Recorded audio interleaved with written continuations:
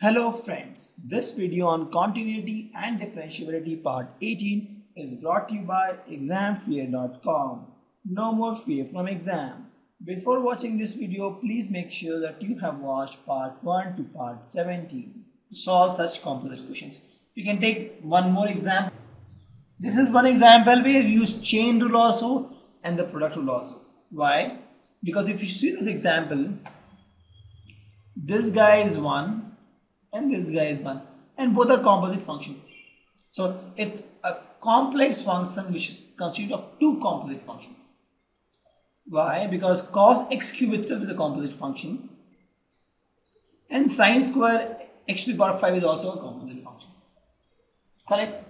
So this is a little lengthy question so I can solve, I can try solving this for you.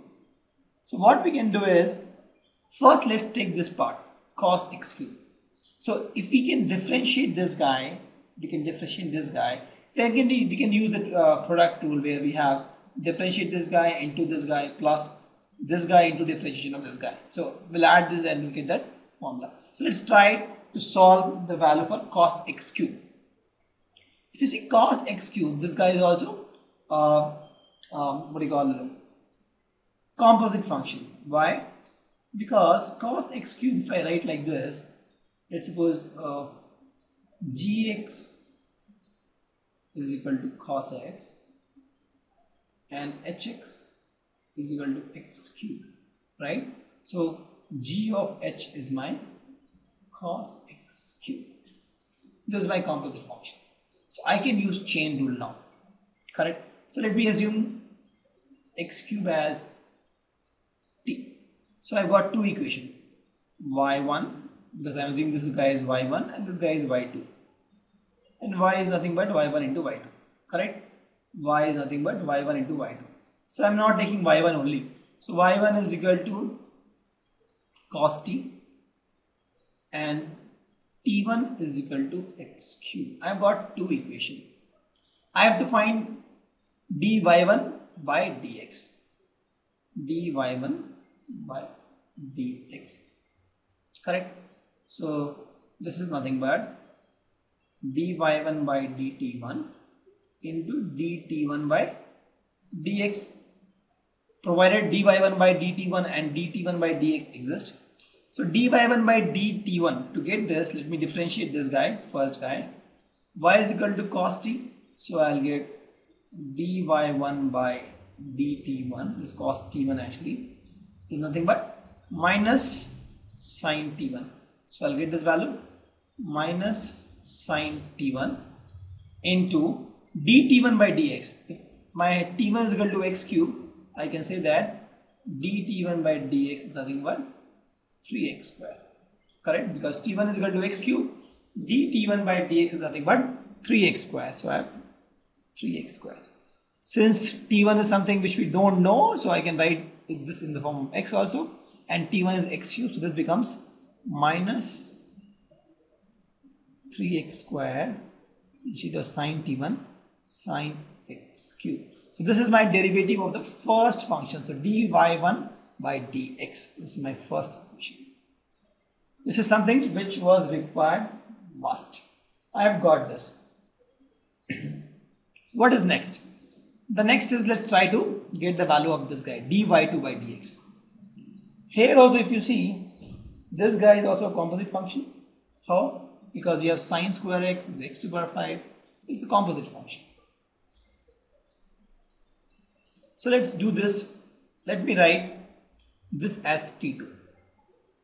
So I get my equation t2 as x to the power 5 and y2 because this thing is y2 now here y2 as sine square t2 correct what I have to find? I have to find dy2 by dx. This is nothing but I know dy2 by dt2 into dt2 by dx. Why? Because composite function. So the first thing is I have to find dy2 by dt2. So let's do this. Let's find it here. dy2 by dt2. So if you see this is nothing but again sine square t2. So this is nothing but sine t2 into sine t2. Correct? So I can use the product rule here to find this guy. So this is nothing but you take the first, derive the, take the derivative of the first part, multiply second part, and then second part derivative of first part. So this part derivative of first part is cos t2 into second part just like that. Plus. First part like this only sine t2 into derivative of second part it is sine t2 derivative is cos t2 correct? The product rule we are applying here. So if my uh, formula was fx is equal to uv f dash x plus is nothing but u dash v plus uv dash same formula I am applying here. U is uh, sine t and v is also sine t here. So this becomes nothing but 2 cos t sine t. So my dy 2 by dt 2 I got. So this guy I got. This guy is 2 cos t into sine t. The next part I want is d t2 by dx. So I have this equation. From this I can get that t2 is equal to x to the power 5. So I get dt2 by dx is nothing but 5 x to the power 4. Very simple. x to the power n becomes n x to the power n minus 1. So this becomes 5 x to the power 4. Since we want equation in forms of x only dy by dx. So we'll replace t with x to the power 5. This is nothing but t cos x to the power 5 sine x to the power 5 into 5 I will just multiply 5 into 2 is 10 into x to the power 4 so this is my value of dy to 2y dx. So I have got this. Now again since it is a product of two functions I have to again use the chain rule. So let me draw a line here. I'll use the chain rule here. From here so till now I have got two equations. So this is my second equation. This is my first equation. This is my dy1 by x and this is dy2 by dx. So if my y is equal to y1 into y2 correct? So my dy by dx is nothing but dy1 into dy1 by dx into y2 plus y1 into dy2 by dx. Correct? Again same formula. The product rule. If my fx is equal to u into v f dash x nothing but u dash v plus v uh, u v dash. Same thing here. This is guys uh, u dash v u v dash. So let's put the values here. I'll write here.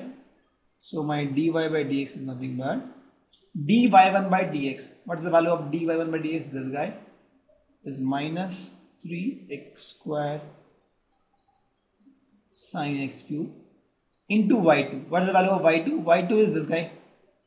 Correct? Sine square x to the power 5. Sine square x to the power 5 plus y1 y1 is this guy cos x cube cos x cube into dy2 by dx dy2 by dx is something which we know that is 10 cos x to the power 5 sine x to the power 5 into x to the power 4 this is the value so if you solve this what you get here is Actually, we can't solve this. It's the solved version only. You can see there's nothing common here. There's a solve. And you can just rewrite the positive first here, then negative part here. This becomes 10 x to the power 4 cos x cube.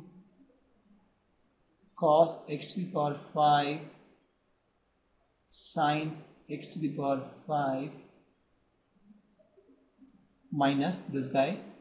3x square into sine x to the power 3